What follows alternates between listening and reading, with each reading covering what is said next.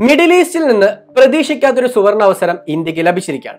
Gulf രാജ്യങ്ങളെ പരസ്പരം ബന്ധിപ്പിക്കുന്ന റെയിൽ നെറ്റ്വർക്ക് സ്ഥാപിക്കാനും ഈ റെയിൽ നെറ്റ്വർക്ക് ഇന്ത്യയിലോട്ട് കണക്ട് ചെയ്യാൻ സാധിക്കുന്ന തരത്തിലുള്ള പോർട്ട് നെറ്റ്വർക്കുമായി എസ്റ്റാബ്ലിഷ് ചെയ്തുകൊണ്ട് വലിയൊരു ചരക്ക് നീക്കത്തിനും അതുമായി ബന്ധപ്പെടുത്തിക്കൊണ്ടുള്ള തുടർ നടപടികൾക്കുമായിട്ട് ഇന്ത്യ എന്ന് പറയുന്ന രാജ്യത്തിന്റെ സഹായം അമേരിക്ക ഉൾപ്പെടുന്ന രാജ്യങ്ങൾ ഇന്ന് തേടിയിട്ടുണ്ട്. മിഡിൽ ഈസ്റ്റിൽ പുതിയൊരു മാറ്റത്തിന് കാരണമായേക്കുമെന്ന ഈ ഒരു പദ്ധതി എന്താണ് ലക്ഷ്യം വെക്കുന്നത്? ഇതിൽ നിന്ന് എന്തെല്ലാം നേട്ടങ്ങളാണ് ഇന്ത്യയ്ക്ക് സ്വന്തമാക്കുവാൻ സാധിക്കുക? വളരെയധികം പ്രധാനപ്പെട്ട മിഡിൽ ഈസ്റ്റിലെ പൊളിറ്റിക്കൽ ചേഞ്ചസും ഇന്ത്യയ്ക്ക് ലഭിക്കുന്ന ചില അവസരങ്ങളെ പറ്റിയും നമുക്ക് ഈ വീഡിയോയിൽ മനസ്സിലാക്കാം. തീർച്ചയായിട്ടും വീഡിയോ മുഴുവനായി കാണാൻ ശ്രമിക്കുക. ആദ്യം നമ്മൾ അറിയേണ്ടത് എന്താണ് ഈ പദ്ധതി എന്ന് പറയുന്ന കാര്യമാണ്. ഇതിനെപ്പറ്റി മനസ്സിലാക്കണമെങ്കിൽ ഐ ടു യൂട്യൂബിനെ പറ്റി നമ്മളൊന്ന് തിരിഞ്ഞു നോക്കേണ്ടതുണ്ട്. ഈ ഗ്രൂപ്പിനെ പറ്റി നിങ്ങൾ പലരും അറിഞ്ഞിരിക്കും. India Israel U S A U A തുടങ്ങിയ നാല് രാജ്യങ്ങൾ ഉൾക്കൊള്ളുന്ന മിഡിൽ ഈസ്റ്റിലെ ക്വാഡ് എന്ന പേരിൽ അറിയപ്പെടുന്ന ഗ്രൂപ്പാണ് ഈ ഒരു ഐ ടു യൂട്യൂബ് ഈ ഐ ടു യു ടു എന്ന് പറയുന്ന ഗ്രൂപ്പ് സ്ഥാപിക്കാനുള്ള പ്രധാനപ്പെട്ട ഉദ്ദേശം മിഡിൽ ഈസ്റ്റിലെ അമേരിക്കയുടെ ഡോമിനൻസ് ഇൻക്രീസ് ചെയ്യാനും അത് ഇസ്രായേൽ യു എ തുടങ്ങിയ രാജ്യങ്ങളുടെ നോർമലൈസേഷൻ വഴി കൂടുതൽ മെച്ചപ്പെടുത്താനുമാണ് അമേരിക്ക ലക്ഷ്യം വെച്ചത്. അതിലോട്ട് ഇന്ത്യയെ കൂടെ ആഡ് ചെയ്യുമ്പോൾ ചൈന എന്ന് പറയുന്ന മിഡിൽ ഈസ്റ്റിലെ ഗ്രോവിംഗ് ഫോഴ്സിനെതിരായിട്ട് ഒരു ശക്തമായ സാന്നിധ്യം നിറയ്ക്കാനായിട്ട് അമേരിക്കയ്ക്ക് സാധ്യമാകുമായിരുന്നു ഈ ഒരു ഐ ടു യു ടുവിന്റെ ഏറ്റവും പുതിയ ഇനിഷ്യേറ്റീവാണ് ഞാൻ ഈ സൂചിപ്പിച്ച മിഡിൽ ഈസ്റ്റിനെ പരസ്പരം കണക്ട് ചെയ്യാൻ സാധിക്കുന്ന റെയിൽ നെറ്റ്വർക്ക് എന്ന് പറയുന്ന ആശയം. ഈ കാര്യത്തെപ്പറ്റി കുറച്ചും കൂടെ ഡീറ്റെയിൽ ആയിട്ട് മനസ്സിലാക്കണമെങ്കിൽ ചൈനയുടെ ഒരു പ്രധാനപ്പെട്ട ഇനിഷ്യേറ്റീവിനെ പറ്റി നമ്മൾ അറിയേണ്ടതുണ്ട്. മറ്റൊന്നുമല്ല ബെൽറ്റ് ആൻഡ് റോഡ് ഇനിഷ്യേറ്റീവിന്റെ ഭാഗമായിട്ട് മിഡിൽ ഈസ്റ്റിൽ ചൈന നടപ്പായിക്കൊണ്ടിരിക്കുന്ന ഫാസ്റ്റസ്റ്റ് ഗ്രോവിംഗ് പ്ലാൻസ് തന്നെയാണ്. പ്രത്യേകിച്ച് ഇറാനുമായിട്ട് ഇരുപത്തിയഞ്ച് വർഷത്തേക്കാണ് ചൈന ഏകദേശം നാനൂറ് ബില്യൺ അമേരിക്കൻ ഡോളറെ ഇൻവെസ്റ്റ്മെന്റ് പ്ലാൻസ് അനൗൺസ് ചെയ്തത്. ഈ പ്ലാൻസ് എത്രയും വേഗത്തിൽ നടപ്പാക്കുമെന്ന് പറയുന്ന പ്രഖ്യാപനം ചൈനയുടെ ഭാഗത്തു ചൈനയുടെ ഭാഗത്തുനിന്നും ഇറാന്റെ ഭാഗത്തുനിന്നും ഒരുമിച്ച് വന്നിട്ടുണ്ട്. ഈ പദ്ധതികൾ മിഡിൽ ഈസ്റ്റ് നടപ്പാക്കുമ്പോൾ അത് ഏറ്റവും കൂടുതൽ തിരിച്ചടിയായിട്ട് മാറാൻ പോകുന്ന അമേരിക്കയ്ക്കാണ്. സോ അമേരിക്ക ഈ തിരിച്ചടികളെ മറികടക്കാനായിട്ടും അതിന് മുൻകൂട്ടി തന്നെ പുതിയൊരു നീക്കം നടത്തുവാനായിട്ടുമാണ് ഇന്ത്യ എന്ന് പറയുന്ന രാജ്യത്തിന്റെ സഹായം ഇന്ന് തേടിയിരിക്കുന്നത്. മെയ് എട്ടാം തീയതി ഇന്ത്യയുടെ നാഷണൽ സെക്യൂരിറ്റി അഡ്വൈസർ അമേരിക്കയുടെ നാഷണൽ സെക്യൂരിറ്റി അഡ്വൈസർ സൗദി അറേബ്യയുടെ ക്രൗൺ പ്രിൻസ് യു എയുടെ റെപ്രസെന്റേറ്റീവ്സ് ഒക്കെ പങ്കെടുത്തിരിക്കുന്ന ചർച്ച സൗദി അറേബ്യയിൽ വെച്ച് നടന്നിട്ടുണ്ട്. ഈ ചർച്ചയിലാണ് ഇത്തരം ഒരു പുതിയ ഇൻഫ്രാസ്ട്രക്ചർ ഡെവലപ്മെന്റ് പ്രൊജക്ട് അനൗൺസ് ചെയ്തതായിട്ട് ആക്സോം എന്ന് പറയുന്ന മാധ്യമം റിപ്പോർട്ട് ചെയ്തത്. ഈ വാർത്ത ഇന്ന് ദേശീയ അന്തർദേശീയ മാധ്യമങ്ങൾ ഒന്നടങ്കം സംസാരിക്കുന്നുണ്ട്. സോ എന്താണ് ഈ ഒരു കാര്യം എന്ന് പറയുന്ന കാര്യത്തെപ്പറ്റി നമുക്കിനി ഡീറ്റെയിൽ ആയിട്ട് മനസ്സിലാക്കാം. മിഡിൽ ഈസ്റ്റിലെ ഏറ്റവും പ്രധാനപ്പെട്ട പ്രശ്നം എന്ന് പറയുന്നത് രാജ്യങ്ങളുടെ പരസ്പരമുള്ള കണക്ടിവിറ്റിയാണ് പ്രത്യേകിച്ച് ചരക്ക് നീക്കത്തിനായിട്ട് ഇവിടെ റോഡ് മാർഗമാണ് കൂടുതലായിട്ടുള്ള ഗതാഗതം നടപ്പാക്കുന്നത്. പക്ഷെ അതിന് ബദലായിട്ട് ഒരു റെയിൽ നെറ്റ്വർക്ക് സ്ഥാപിക്കുക എന്ന് പറയുന്ന മിഡിൽ ഈസ്റ്റിലെ ഏറ്റവും ദുർഘടമായ ഒരു ദൗത്യം കൂടിയാണ്.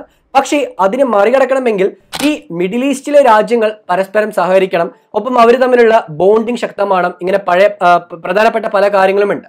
ഈ കാര്യങ്ങളെ ഏകോപിപ്പിക്കാനായിട്ട് അമേരിക്ക സൗദി അറേബ്യയുമായിട്ടും യു എയുമായിട്ടും കഴിഞ്ഞ കുറച്ച് മാസങ്ങളായിട്ട് സംസാരിക്കുന്നുണ്ട്.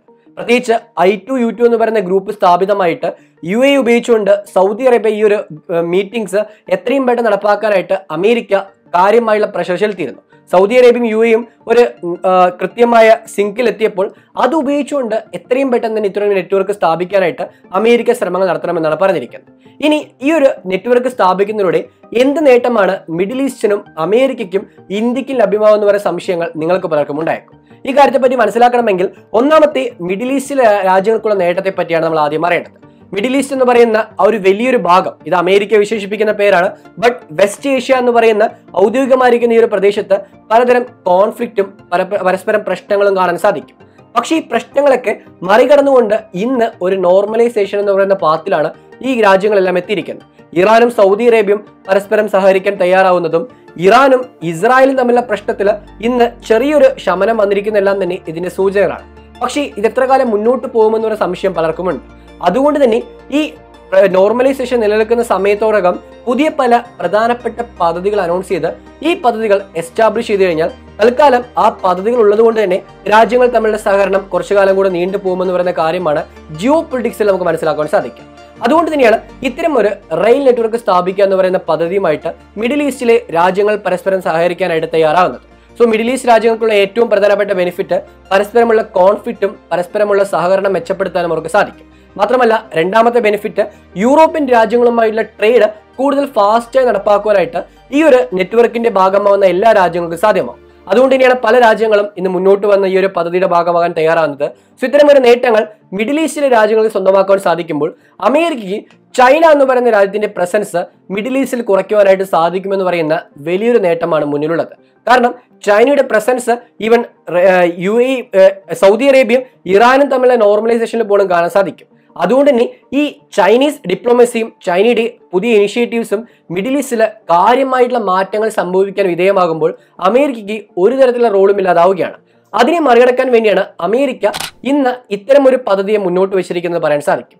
മാത്രമല്ല യൂറോപ്യൻ കൺട്രീസിനെ ഗൾഫ് കൺട്രീസുമായിട്ട് കണക്ട് ചെയ്യുന്നതിലൂടെ അമേരിക്കയ്ക്ക് വീണ്ടും അവരുടെ പ്രതാപകാലത്തെ ആ ഒരു സ്വപ്നങ്ങളൊക്കെ നടപ്പാക്കാൻ സാധിക്കുമെന്ന് പറയാൻ സാധിക്കും.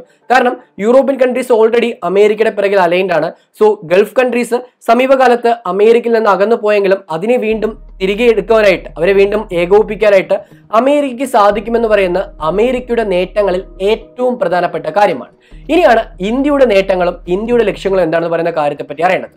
ഇന്ത്യയുടെ ഏറ്റവും പ്രധാനമായിട്ടുള്ള ഒരു വരുമാന മാർഗമായി മാറിക്കൊണ്ടിരിക്കുന്നത് മിഡിൽ ഈസ്റ്റ് രാജ്യങ്ങളുള്ള ഇന്ത്യൻ പൗരന്മാർ അയക്കുന്ന പൈസയാണ്. പ്രത്യേകിച്ച് മിഡിൽ ഈസ്റ്റ് നിന്ന് ഇന്ത്യയിലോട്ട് വരുന്ന ഫോറിൻ റെമിറ്റൻസ് വർഷങ്ങൾ കൂടുന്തോറും വർദ്ധിച്ചു വരികയാണ്. ഇന്ത്യയിൽ നിന്ന് മില്യൺസ് ഓഫ് പീപ്പിൾ ആണ് ഈ മിഡിൽ ഈസ്റ്റ് റീജിയനിൽ വർക്ക് ചെയ്യുന്നത്. സോ ഇത്തരം ഒരു ഇന്ത്യയുടെ കോൺട്രിബ്യൂഷൻ ഉള്ള മേഖലയിൽ ഇന്ത്യൻ പ്രസൻസ് ശക്തമാക്കുവാനായിട്ട് ഒരു പ്രധാനപ്പെട്ട മാറ്റമായിട്ട് ഇത് മാറിയേക്കാം. കൂടാതെ ഇന്ത്യ ഇന്റർനാഷണലി ഇന്ത്യയുടെ പുറത്തുള്ള ഏതെങ്കിലുമൊക്കെ രാജ്യത്ത് റെയിൽ നെറ്റ്വർക്ക് സ്ഥാപിക്കാൻ സാധിച്ചിട്ടുണ്ടെങ്കിൽ അത് ശ്രീലങ്ക എന്ന് പറയുന്ന രാജ്യം മാത്രമാണ്.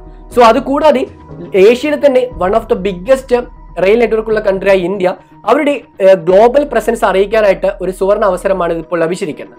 കാരണം മിഡിൽ ഈസ്റ്റിലെ രാജ്യങ്ങളുമായിട്ട് ഇന്ത്യ ഇത്തരം ഒരു റെയിൽ നെറ്റ്വർക്ക് സ്ഥാപിക്കാനായിട്ട് സഹകരിക്കുമ്പോൾ അത് ഓട്ടോമാറ്റിക്കലി ഗ്ലോബലി ഒരു റെക്കഗ്നൈസേഷൻ ലഭിക്കാനായിട്ട് ഇന്ത്യയ്ക്ക് കാരണമായി തീർന്നേക്കാം. അത്തരം ഒരു സുവർണമായിട്ടുള്ള അംഗീകാരം ഇന്ത്യയ്ക്ക് ലഭിക്കുമ്പോൾ അത് മറ്റു പല ഓപ്പർച്യൂണിറ്റിയും ഇന്ത്യ ക്രിയേറ്റ് ചെയ്തേക്കാം. കൂടാതെ പ്രൈവറ്റ് കമ്പനീസിനെയും ഇന്ത്യയുടെ പബ്ലിക് സെക്ടേഴ്സിനെയും ഇവിടെ ഇൻക്ലൂഡ് ചെയ്യാനായിട്ട് ഇന്ത്യ ശ്രമിച്ചേക്കാം എന്ന് പറയുന്ന കാര്യങ്ങളും പല വിധത്തിലും മുന്നോട്ട് വെക്കുന്നുണ്ട്. സോ അത്തരം ഒരു ഇനിഷ്യേറ്റീവ് ഇന്ത്യ എടുത്തു വെക്കുകയാണെങ്കിൽ അത് ഇന്ത്യയുടെ ഗ്രോയിങ് ആ ഒരു ഗ്രോത്തിനെ തന്നെ കൂടുതലായിട്ട് ഹെൽപ്പ് ചെയ്യുമെന്ന് പറയാൻ സാധിക്കും.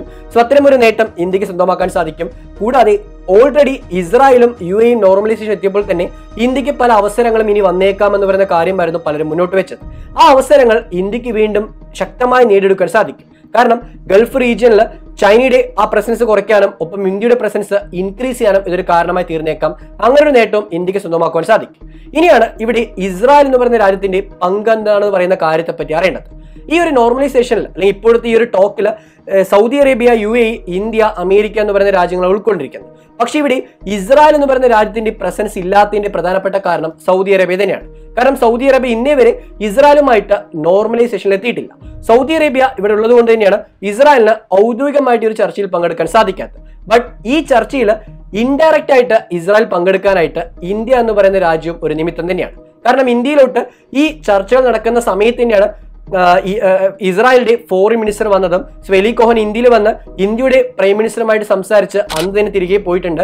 അദ്ദേഹം ഇവിടെ വന്നത് ഇത്തരം ഒരു ഇൻഫ്രാസ്ട്രക്ചറും മിഡിൽ ഈസ്റ്റിലുള്ള ഇന്ത്യയുടെ പ്രസൻസ് ശക്തമാക്കുവാനായിട്ട് ശ്രമിക്കണം എന്ന് പറയുന്ന കാര്യത്തെപ്പറ്റി സൂചിപ്പിക്കാനാണെന്നും പല മാധ്യമങ്ങളും റിപ്പോർട്ട് ചെയ്തിട്ടുണ്ട്. സോ ഇസ്രായേലിന്റെ ഒരു ഒരു എന്താ പറയുക മറയായിട്ട് അല്ലെങ്കിൽ അവർക്ക് വേണ്ട ഒരു സപ്പോർട്ടീവ് ഫോഴ്സ് ആയിട്ട് ഇന്ത്യ പ്രവർത്തിക്കുന്നതായിട്ടും ഇവിടെ അനുമാനിക്കാൻ സാധിക്കും. നിങ്ങളുടെ കാര്യം ഇന്ത്യ ഇസ്രായേലിന് വേണ്ടി ഹെൽപ്പ് ചെയ്യുന്നുണ്ട്. മറ്റൊരു പ്രധാനപ്പെട്ട നേട്ടമായിട്ട് ഇന്ത്യയ്ക്ക് ഭാവിയിൽ വരാൻ പോകുന്നത് ഇസ്രായേൽ എന്ന് പറയുന്ന രാജ്യം മിഡിൽ ഈസ്റ്റിലെ മറ്റുള്ള രാജ്യങ്ങളുമായിട്ട് നോർമലൈസേഷൻ എത്തിക്കഴിഞ്ഞാൽ അതിലൂടെ ലഭിക്കുന്ന എക്കോണമിക്കൽ ബെനിഫിറ്റ് ആണ്. ഇതിനായിട്ടും ഇന്ത്യ ഇസ്രായേലിനെ ഏകോപിപ്പിക്കാനായിട്ട് ശ്രമിക്കുന്നുണ്ട്. ഇങ്ങനെ പല കാര്യങ്ങളും ഈ ഒരു പ്രൊജക്റ്റിലൂടെ മനസ്സിലാക്കാൻ സാധിക്കും. ഇനി ഈ ഒരു പ്രൊജക്ട് എങ്ങനെ ഇന്ത്യ ഇംപ്ലിമെന്റ് ചെയ്യും? അല്ലെങ്കിൽ ഇവിടെയുള്ള പ്രശ്നങ്ങൾ എന്താണ്? അതിനെങ്ങനെ ഓവർകം ചെയ്യും എന്ന് പറയുന്ന കാര്യത്തെ പറ്റിയാണ് അറിയേണ്ടത്. ഇതിൽ ഏറ്റവും പ്രധാനപ്പെട്ട പ്രശ്നമായിട്ട് വരുന്നത് ചൈനയുടെ പ്രസൻസ് ആണ്. കാരണം ചൈന ഓൾറെഡി അവരുടെ ശക്തമായ പ്രസൻസ് ഈ ഒരു മേഖലയിൽ ക്രിയേറ്റ് ചെയ്തിട്ടുണ്ട്. ആ പ്രസൻസിനെ ഓവർകം ചെയ്ത് ഇന്ത്യ അമേരിക്കയുടെ സപ്പോർട്ടോടു കൂടി അവിടെ ഒരു പ്രധാനപ്പെട്ട പ്രൊജക്ട് നടപ്പാക്കണമെങ്കിൽ അതിന് പലതരം പ്രശ്നങ്ങൾ നേരിടേണ്ടി വരും. ആ പ്രശ്നങ്ങളെ മറികടക്കുവാനായിട്ട് പുതിയ പല പദ്ധതികളും ഇന്ത്യയും അമേരിക്കയും ഉൾക്കൊള്ളുന്ന ഈ ഒരു ഐ ടു യൂട്യൂബ് പോലത്തെ ഗ്രൂപ്പുകൾ മിഡിൽ ഈസ്റ്റ് നടപ്പാക്കേണ്ടി വന്നേക്കാം. ഇത് കൂടാതെ തന്നെ ലോകത്തിലെ പല രാജ്യങ്ങളും ഉറ്റുനോക്കുന്ന ഒരു ഡ്രീം പ്രൊജക്റ്റ് ആയിട്ടും ഇത് മാറിയേക്കാം. അങ്ങനെ ആ ഒരു ഡ്രീം പ്രൊജക്റ്റിൽ ഇന്ത്യ ഒരു പിഴവ് വരുത്താതെ നടപ്പാക്കണം എന്ന് പറയുന്നതും ഇന്ത്യക്കുള്ള പ്രധാനപ്പെട്ട വെല്ലുവിളി തന്നെയാണ്. ആ വെല്ലുവിളിയും ഇന്ത്യയ്ക്ക് മറികടക്കാനായിട്ട് കൂടുതൽ മികച്ച എഞ്ചിനീയറിംഗും പ്ലസ് കൂടുതൽ സ്കിൽഡ് ആയിരിക്കുന്ന വർക്കേഴ്സിന്റെയും ആവശ്യം വന്നേക്കാം. അവിടെ ഇന്ത്യ എത്രത്തോളം എഫക്റ്റീവായിട്ട് ഇന്ത്യയിലുള്ള തൊഴിലില്ലായ്മ എന്ന് പറയുന്ന പ്രശ്നത്തിന് പരിഹാരം കാണാൻ ശ്രമിക്കുമെന്ന് പറയുന്ന ചോദ്യം അവശേഷിക്കുന്നുണ്ട്. സോ ഇന്ത്യ ഇന്ത്യയുടെ അകത്തിനുള്ള ലേബർ പവർ ഉപയോഗിച്ചുകൊണ്ട് ഈ ഒരു പ്രൊജക്ട് നടപ്പാക്കാൻ ശ്രമിക്കുകയാണെങ്കിൽ അത് വലിയൊരു വിജയം തന്നെയാണ്. പക്ഷെ അത് എത്രത്തോളം പൊളിറ്റിക്കലി ഇന്ത്യ സ്ട്രോങ് ആയിട്ട് നടപ്പാക്കുമെന്ന് പറയുന്നതും എത്രത്തോളം സ്റ്റെബിലൈസ്ഡ് ആയിട്ട് മിഡിൽ ഈസ്റ്റിലെ രാജ്യങ്ങൾ ഇന്ത്യയുമായിട്ട് സഹകരിക്കുമെന്ന് പറയുന്ന ചോദ്യം ഇവിടെ അവശേഷിക്കുന്നുണ്ട്. ഇപ്പോഴും ഈ ഒരു പ്രൊജക്ട് ജസ്റ്റ് മാധ്യമങ്ങൾ റിപ്പോർട്ട് ചെയ്ത വാർത്തയിലൂടെ മാത്രമേ അറിയാൻ സാധിച്ചിട്ടുള്ളൂ. ഔദ്യോഗികമായ സ്ഥിരീകരണങ്ങൾ വന്നിട്ടില്ല. ബട്ട് ആ സ്ഥിരീകരണം വന്നു കഴിഞ്ഞാൽ തീർച്ചയായിട്ടും ഇതിനെപ്പറ്റി കൂടുതലായിരിക്കുന്ന ക്ലാരിഫിക്കേഷൻ നിങ്ങൾക്ക് മനസ്സിലാക്കുവാനായിട്ട് ഞാൻ മറ്റൊരു വീഡിയോ ചെയ്തേക്കാം. സോ ഇത്രയും കാര്യമാണ് ഈ ഒരു വീഡിയോയിൽ പറയാമെന്ന് വിചാരിച്ചത്. നിങ്ങൾക്ക് എന്താണ് ഈ ഒരു ഡ്രീം പ്രോജക്റ്റിനെ പറ്റി പറയാനുള്ളത്? നിങ്ങളുടെ അഭിപ്രായം തീർച്ചയായിട്ടും താഴെ കമന്റ് ബോക്സിൽ രേഖപ്പെടുത്തുക. മറ്റൊരു ഇൻട്രസ്റ്റിംഗ് ആയ വിഷയമായിട്ട് വീണ്ടും കണ്ടുമുട്ടാം. Thank you for this video Hind.